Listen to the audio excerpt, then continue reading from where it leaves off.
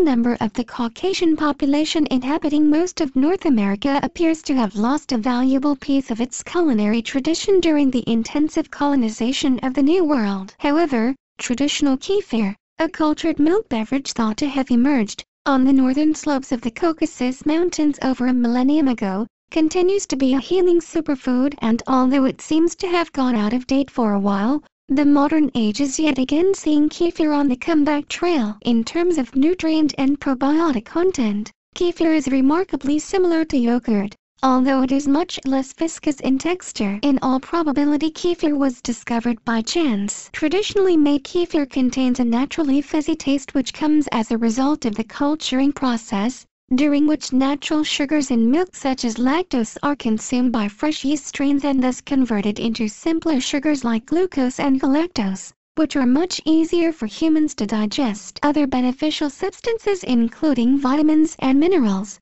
amino acids, digestive enzymes and billions of beneficial probiotic bacteria are produced as well during this fermentation process. These are scientifically proven to prevent various chronic illnesses including cancer. Traditional kefir is an efficient healing food, one that is highly recommended to be combined with your diet for general health and well-being. Consuming kefir can help heal the gut improve immune function and prevent cancer. Extensive research has discovered that kefir improves general health although science has yet to explain in full detail how. Kefir is believed to prevent the development of various cancers presumably by improving the gut microflora through which nutrients are absorbed into the body and this is just one area of major scientific interest. A number of lab experiments on mice have demonstrated that kefir a unique polysaccharide produced by the cauliflower-like yeast. Strains generally referred to as kefir grains, shows considerable anti-tumor activity. Moreover,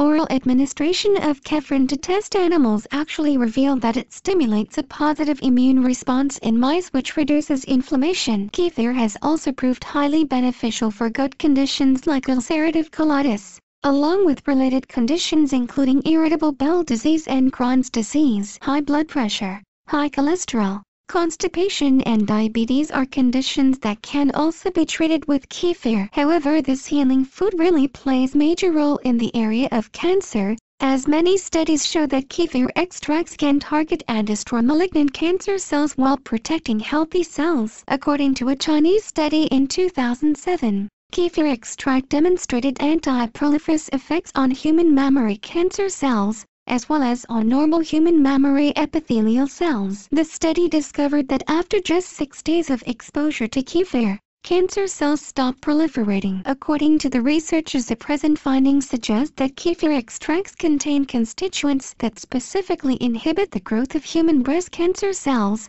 which might eventually be useful in the prevention or treatment of breast cancer. A similar Japanese study discovered that kefir consumption stimulates the body to produce 14 times more interferon beta, which is a glycoprotein excreted by cells throughout the body to fight viral infections, along with possible cancer cells. Kefiran, and in fact kefir grains and kefir are useful as functional food to prevent or control common occurring diseases of the modern age.